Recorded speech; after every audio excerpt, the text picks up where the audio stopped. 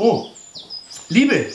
ja, das ist ganz simpel. Pass auf, ich erkläre das einmal. Du magst mich, ich mag dich und schon gehen wir zusammen. Das ist eine ganz simple Sache. Und zwar auf ewig, wenn der liebe Herrgott will. Prosit! Mm. Du legst dich nieder, gell?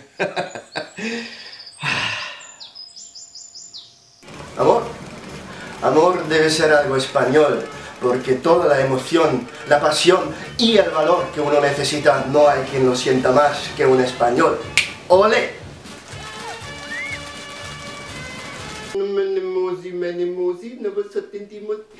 Ja, ähm, na die Liebe. Ich meine, erst einmal ist natürlich wichtig, dass man sich selber liebt. Ne?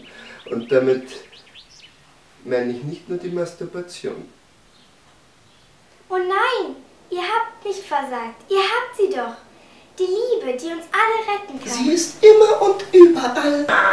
Kunst, Literatur, Musik, alles voll von der Liebe. Aber es gibt sie gar nicht. Sie ist eine Erfindung. Sie ist eine Ausgeburt der Fantasie. Sie ist und sie wird immer sein.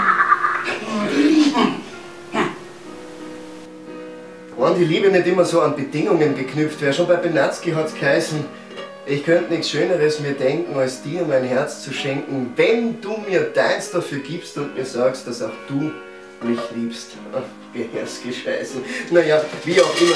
Ich sag, wer kocht, darf die wichtigste Zutat niemals vergessen. Das ist und bleibt die Liebe. Denn wer mit Liebe kocht, der kann sich eines gewiss sein. Er kriegt die Liebe zurück. Bussa. Icke, weil ich das letzte Mal jemanden geliebt habe, äh, da muss ich erstmal überlegen. Ich glaube, das ist schon eine ganze lange Weile her.